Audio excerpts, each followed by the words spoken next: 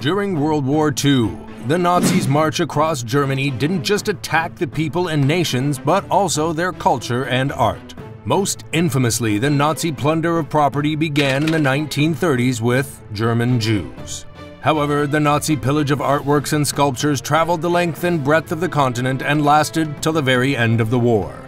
The Nazis were infamous for their theft of gold and silver, but their theft included ceramics, books, paintings, religious artifacts, and other culturally important items. Welcome to History on Fleek. Today we examine four mysteries of Nazi treasure unresolved to this day.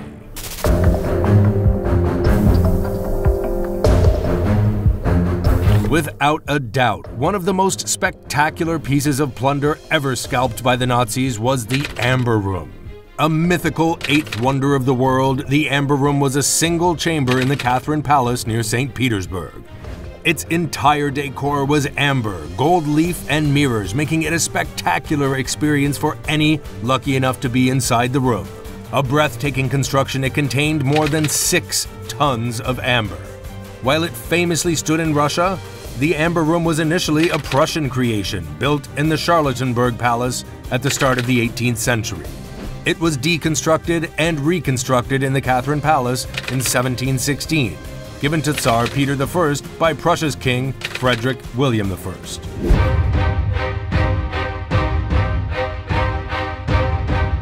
The Amber Room was found and looted by the Nazis during their 1944 advance on the Eastern Front. They once again deconstructed and reconstructed the room, this time taking its contents to Königsberg for it to be displayed. However, around 1944, the tides of the war began to turn on the Nazis, and the room and its contents were put in crates and put in storage as the Allies made ground on Germany. Following the 1944 bombing of Königsberg, the room has been presumed destroyed ever since. There have been instances in the decades following of journalists and investigative teams attempting to find the room, but to no avail. The consensus is the original Amber Room was destroyed in the Allied bombing of August 1944. Despite being plundered by war, the Amber Room was reconstructed for the Catherine Palace in 2003. The process took nearly 25 years and procuring a dying breed of amber craftsmen from across Germany and Russia.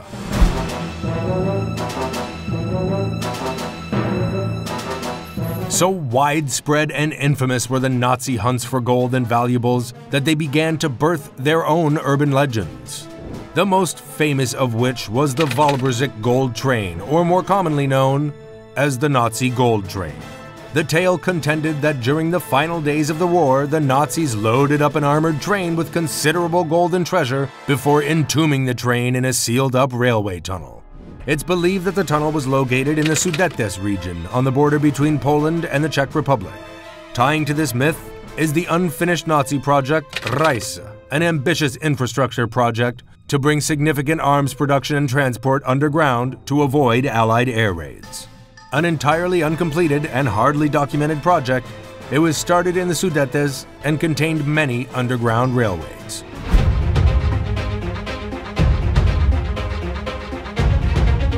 Despite its allure and the fascination the idea brings, there has been no evidence to back up the claim. Yes, despite underground Nazi railway constructions being found since the war, no gold train has been found inside of them.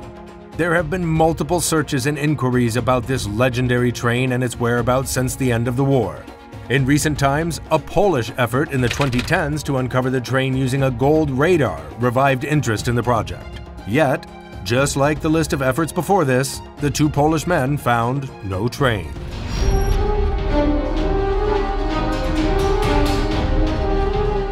One of the most notorious operations of Nazi looting was their collecting of artworks from across Europe as they conquered it. The biggest proponent was Hermann Goering, who avidly collected the finest pieces of art taken from all over the continent. Goering, by most accounts, was a man of opulent taste, putting it mildly. His collection of finer things was legendary. Fine artworks were just a part of a lifestyle that included collecting zoo animals, the finest jewels, and in time, a substantial morphine dependency. Goering sought only the most significant works of art, including Monet, Botticelli, and Van Gogh. Many would tell you Raphael's portrait of a young man was the most historically significant artwork taken by Nazi theft. Many would also tell you it was done at the behest of Hermann Goering. The depth of Goering's greed is staggering. A handwritten catalog was found listing nearly 1,500 works of art in his personal collection, meaning he was acquiring approximately three per week. A modern estimate for the worth of this catalog is nearly $3 billion.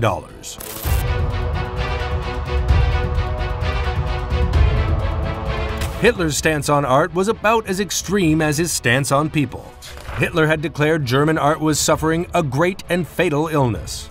Any modern art for the time, Cubism, Dadaism, and Futurism, was labeled degenerate and was seen as evidence of 20th century society in decline. In 1939, akin to their notorious book burnings, the Nazis burned over 4,000 paintings, sculptures, and prints in the Berlin Fire Department courtyard. From then on out, the Nazi aesthetic would only have room for the Old Masters paintings before 1800, in particular, those of Germanic descent.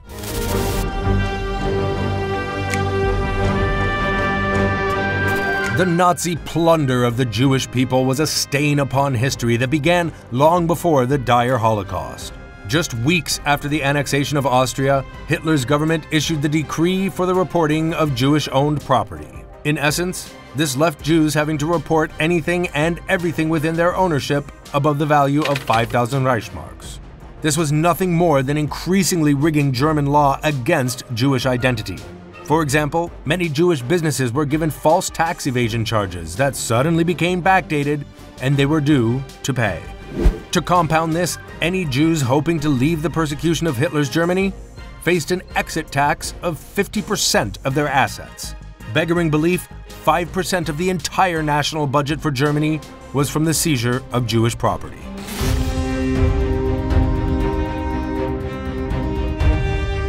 Without a doubt, the grimmest and most infamous of Nazi plunder was dental gold. Collecting gold teeth from those exterminated in concentration camps has been uncovered in historical documents. More disturbingly, so profitable was the practice, instances of Jews having teeth removed before even being subject to gas chambers have also been uncovered. In exchange for Reichsmarks from Swiss banks, documents have come to inform us that collecting dental gold was an organized practice. Around 6,000 kilos of dental gold was collected from Auschwitz alone for the duration of the war. 25 kilos was collected from the Mauthausen concentration camp, and between 100 and 500 grams was collected per month from Buchenwald. Gold bars made from melted down teeth were exchanged with Swiss banks starting in May 1940. Just two years later, Germany's gold faced increasing scrutiny of its legitimacy. By 1944, accepting German gold faced the threat of economic sanctions, and in 1945, Switzerland stopped accepting the tainted German gold.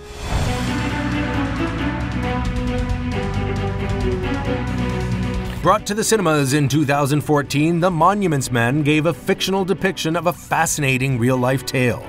Amazingly, the Monuments, Fine Arts, and Archives program was started in 1942 for the very purpose of protecting and recovering artworks lost and damaged during the war. Extraordinarily, their brave single purpose to save art paid dividends. Their most important work was getting to the Altaussee salt mine in the Austrian Alps.